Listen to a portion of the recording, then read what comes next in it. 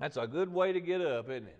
It really is to get up and have uh, have Jesus being the first thing, Brother Eugene, that's on your mind, and and thinking about, like I mentioned earlier, about the the promises, uh, Brother James, that He has in store for us, and and uh, and understanding uh, uh, that He's going to keep every one of those, and knowing that that we're going to be upon this uh, His footstool for a little while longer, and it's it's not going to always be uh, uh, uh, really uh, uh, smooth and it's not going to be all, all gravy down here. You know, no, we're going to have trials and tribulation and turmoils and we're going to get older if the Lord blesses us to live long enough. I haven't got there quite yet, but, but, but you know, maybe, maybe one day. And, uh, but you know, no, you know what? It, we're, we're, it's just part of life. It, it, it is. When we get older, we, we start aching. We, we have more problems, and, and we see things that we just don't agree with, and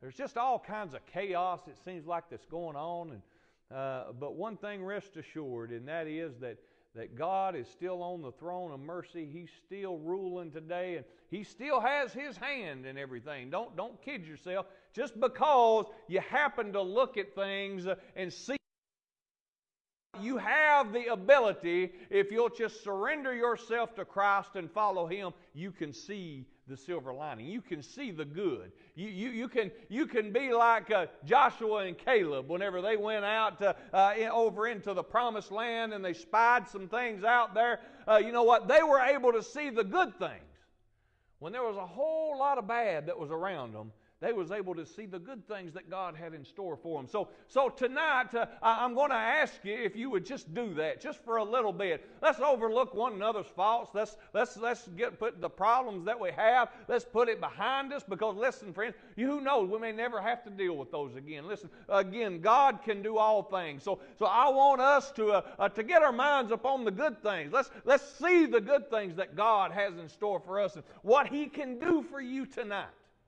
We're not promising you a bed of roses. We're not promising you a million dollars. We're not saying, oh, all this, uh, uh, your financial worries or, or all your problems at work or, or the situation at home. We're not saying it's all going to be better and, and this and that uh, uh, right now, but we're saying that right now you can have peace of mind. Right now you can have Jesus. And I promise you, the more you hold on to Jesus, the more you focus upon Jesus, the more you, you get your mind off of the things of the world and get them set upon Christ. I'm here to tell you, you'll, you'll, you'll have a lot better, a lot better view of, of, of what's in store, and you'll uh, uh, right down in your heart. And, and I heard something, and, and that's kind of, uh, I guess, the direction I'm going today. And, and uh, whenever I heard this, I immediately went to my Bible and I opened it up and I looked and I said, boy, I must, I must preach out of this an awful lot because I got all kinds of stuff written down where I've studied things and things.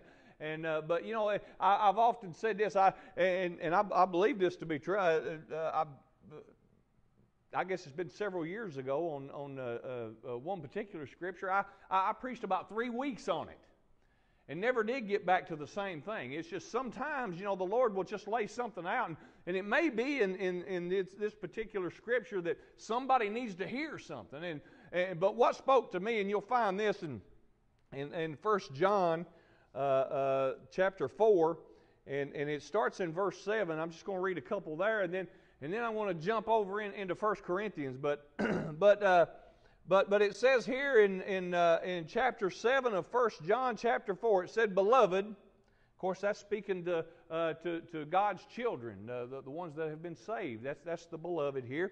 Beloved, let us love one another. For love is of God. And everyone that loves is born of God. Now remember, this is, this is we must remember what love really is. and we'll get to that here in just a minute. You know what? We've watered down what love is today in a natural sense. We, we've watered it down to just give me what I want and you love me. If you don't give me what I want or what and that's not the case. You know, God, I praise, I praise the good Lord that He's not always given me what I desired. He, he knows, He knows what is needful, and He provides for me. And he doesn't let this silly boy get what this silly boy wants all the time. And, and so, so we, we have to remember this. And so, so but he's sitting here and he's, he's, he's telling them about love. And he, he says, uh, uh, he says that uh, uh, and everyone that loves is born of God and knows God. He that loves not knoweth not God. And this is the next little part of this uh, uh, uh, verse 8. Now, you know what? Hey, listen, if you got a Bible, I want you to circle this. I want you to, I want you to go and I want you to really meditate upon this because you know what? We, we always know that, that, that God loves us, doesn't He?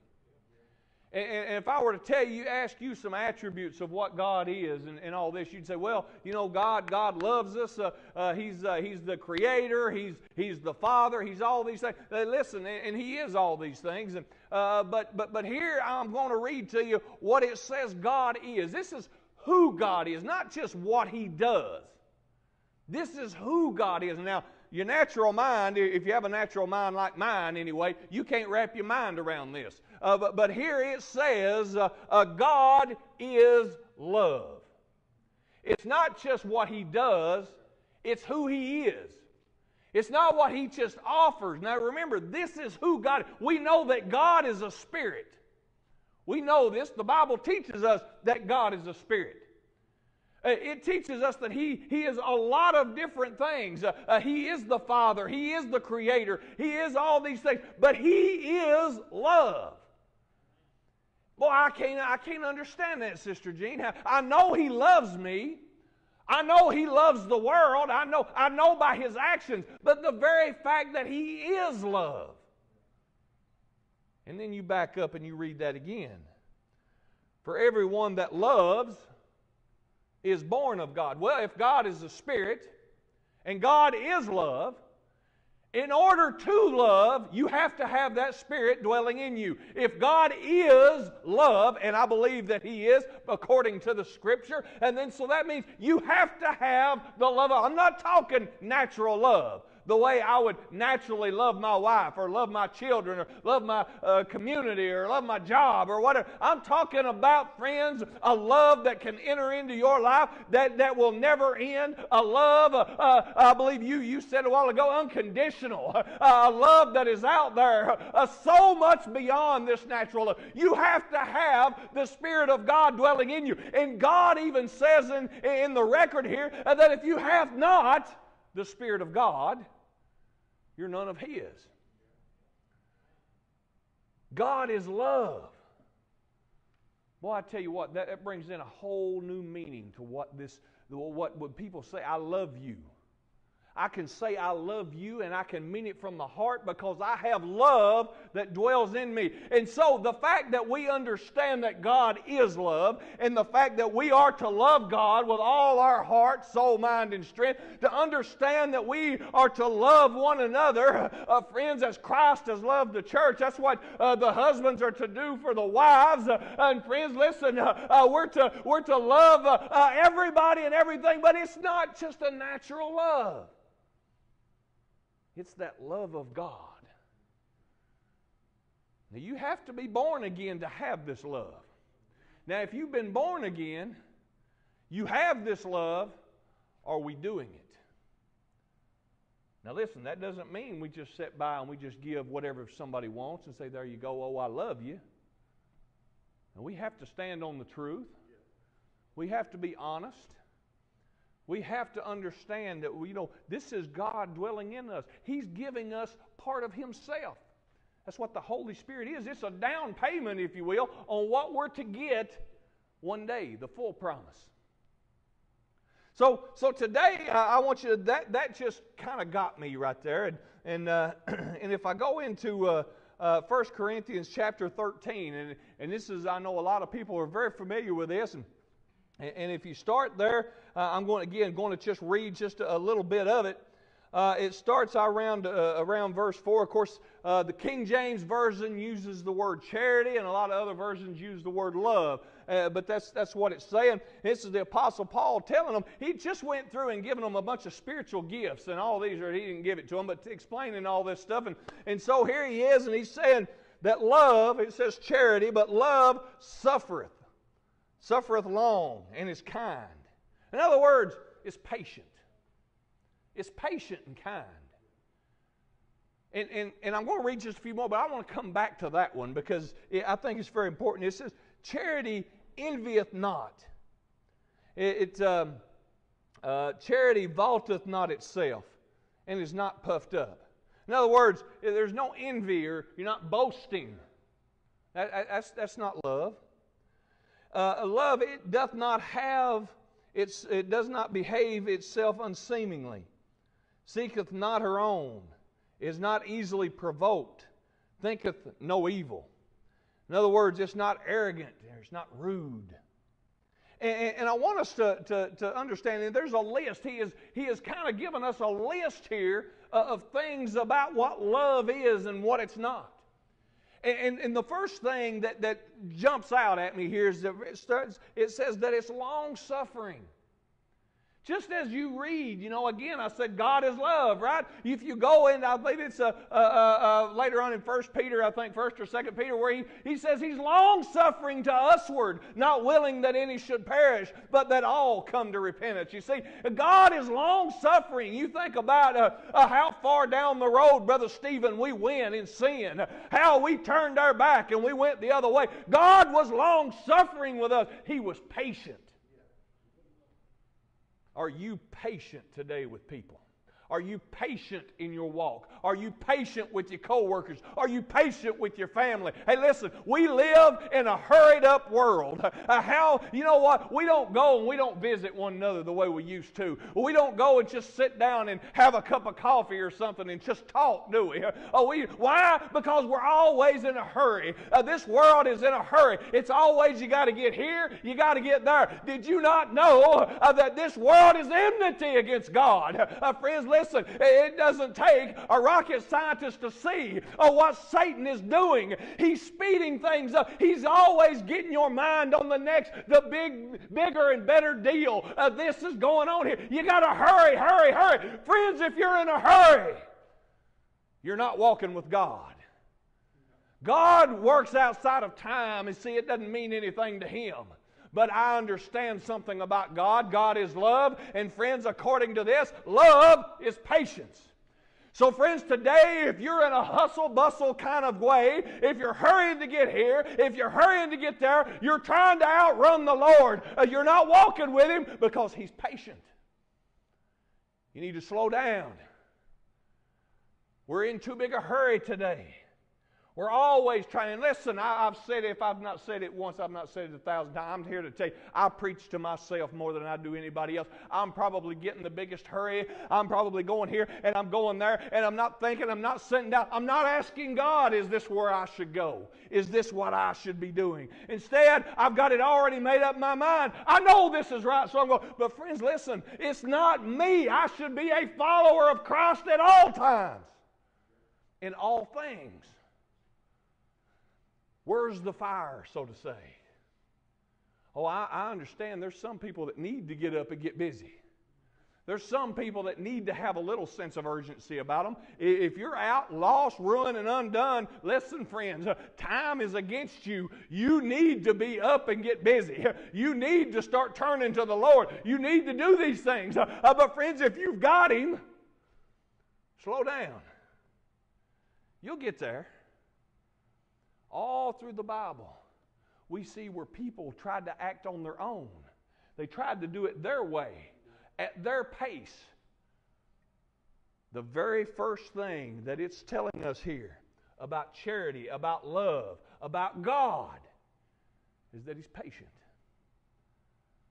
So if we're in a hurry, and if we're trying to hurry and get this done and get that done and trying to hurry, hurry, hurry, we're doing it without God.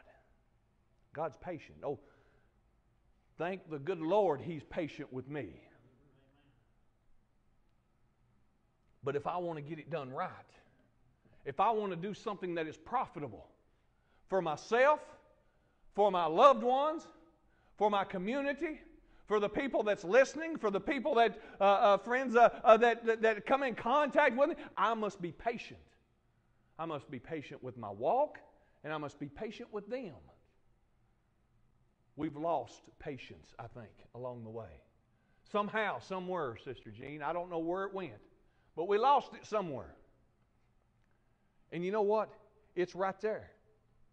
It's the first one. Matter of fact, you go you go to the fruit of the spirit. You know, uh, uh, you know how it talks. I think it's in Galatians where it has this, uh, the the fruits of the spirit. What what the spirit of God, what it brings forth. What's the first thing that it brings forth? Is love actually.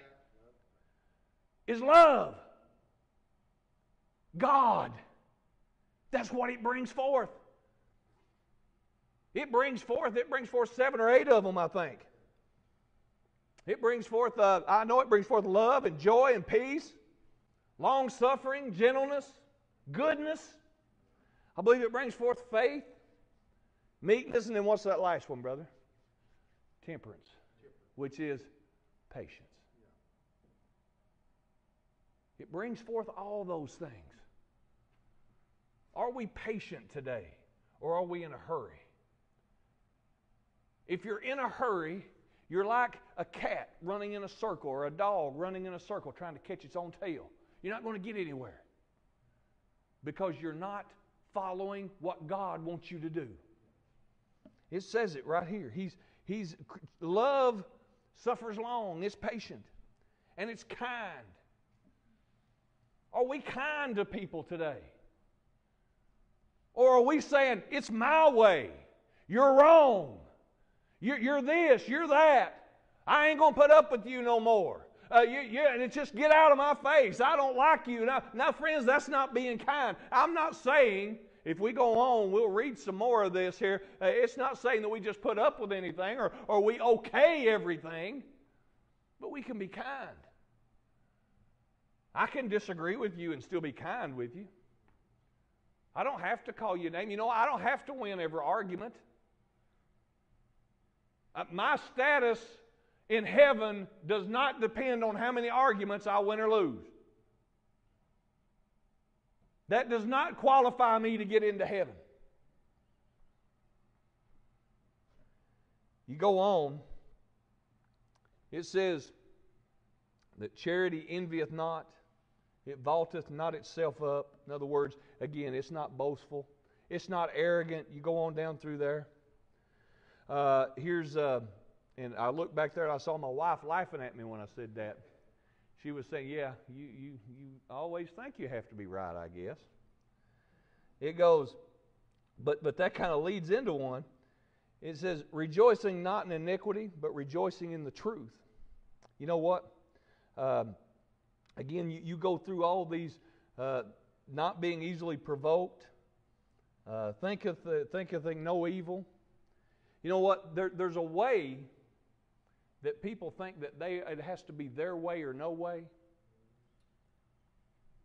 That's not love. That is not love. It, because you can get into that when you see here. Rejoicing, rejoiceth not in iniquity, but rejoiceth in truth. How many times do we see people out here that they're celebrating sin. They're saying it's all right. One of my favorite lines don't judge me. You're not my judge. People that rejoice in iniquity, that rejoice in, in, in falseness, that's not love. And if you agree with it, you're not loving them. Enabling someone's sin is not love. Helping someone earn or continue on their way to an eternal damnation is not love. You see, God is love.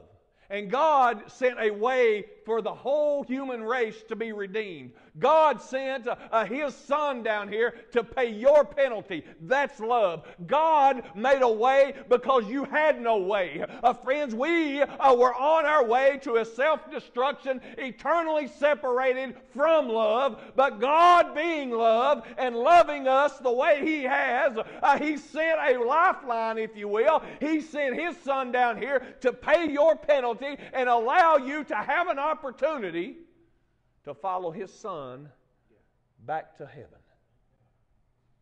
That's love. Giving you what you want, giving an unrepentant heart what they want is not love. Matter of fact, it's the exact opposite.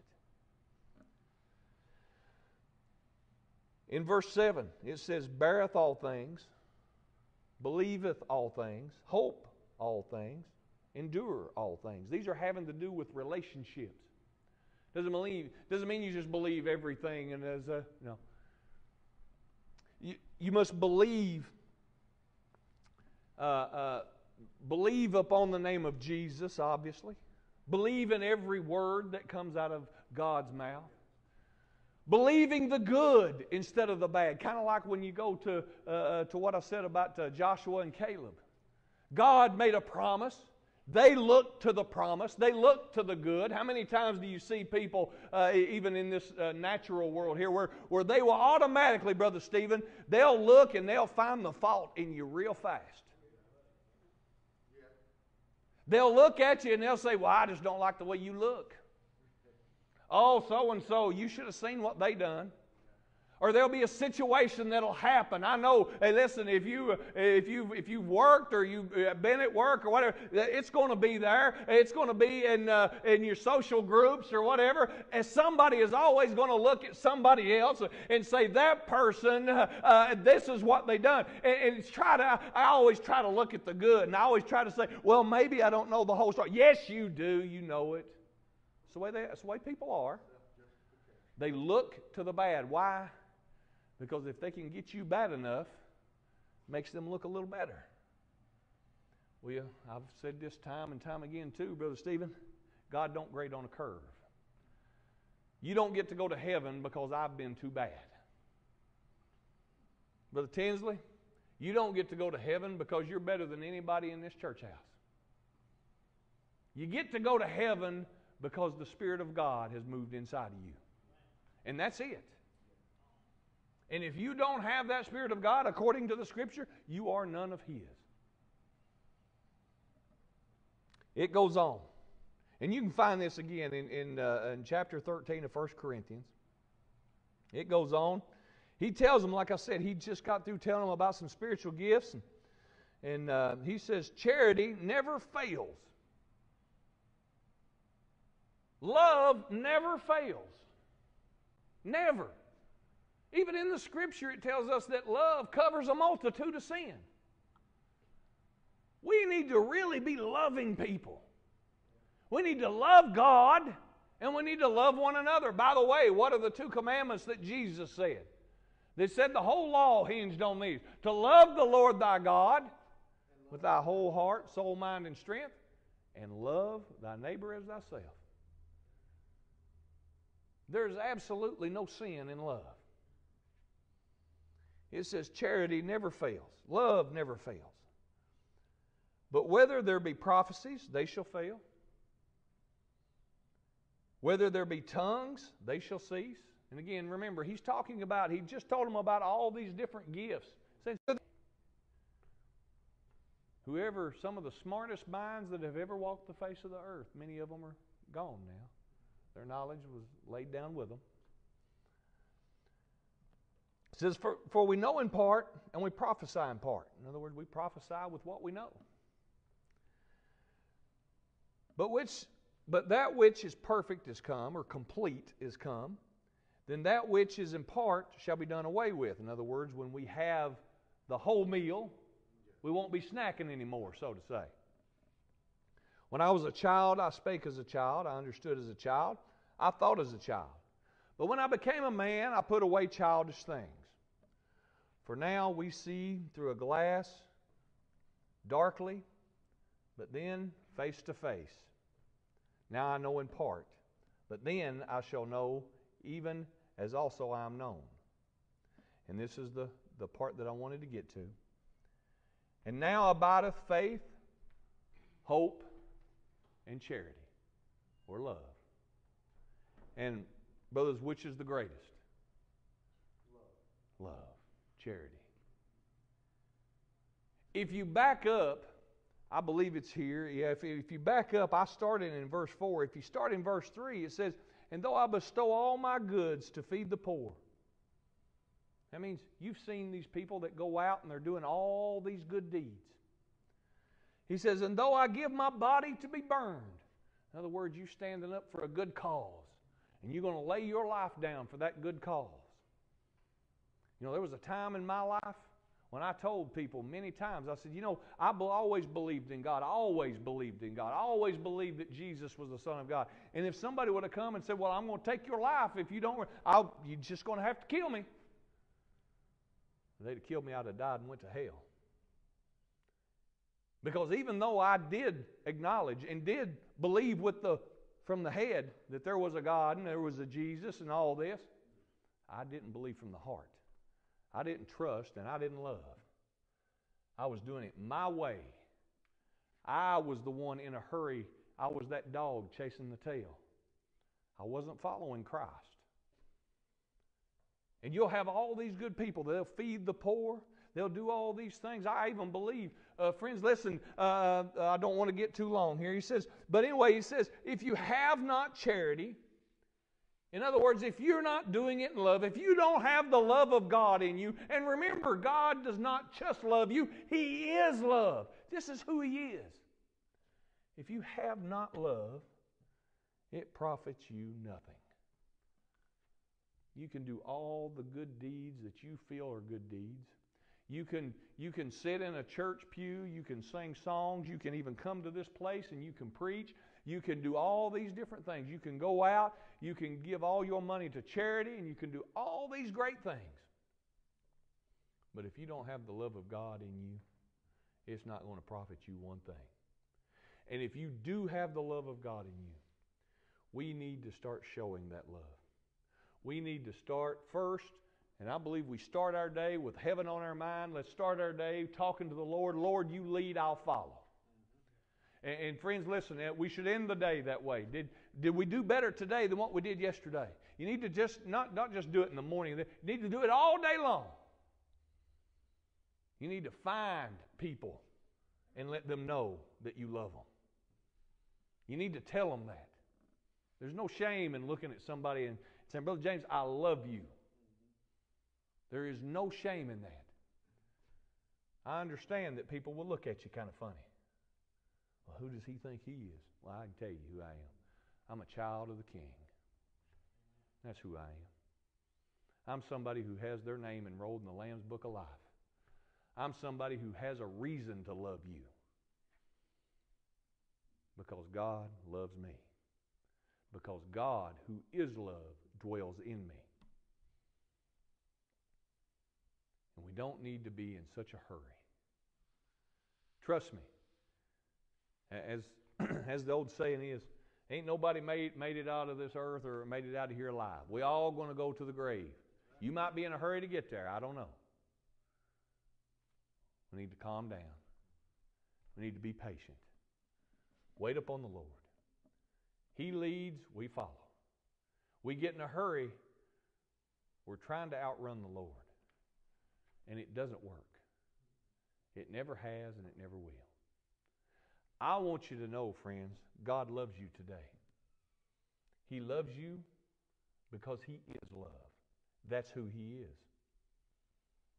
He paid the price for you, He made a way so that you could have this love inside of you.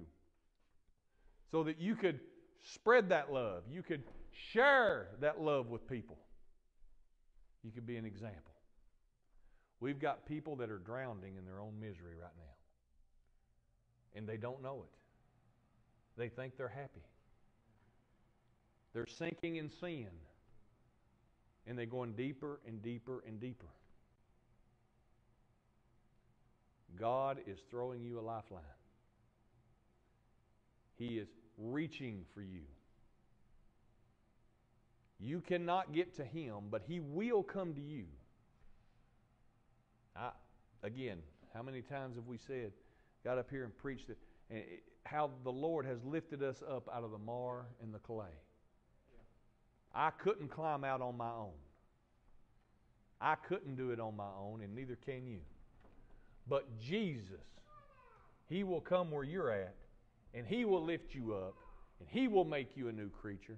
He will enroll your name in the Lamb's Book of Life because He's love. So, with that, if you brothers want to get you a song,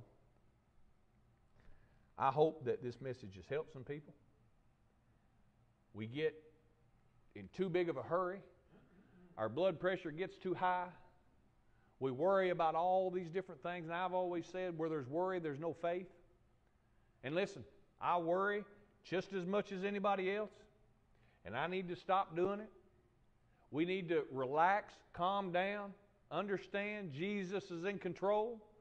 He's going to come back and get us one day. And until then, we need to fight the fight that He wants us to fight.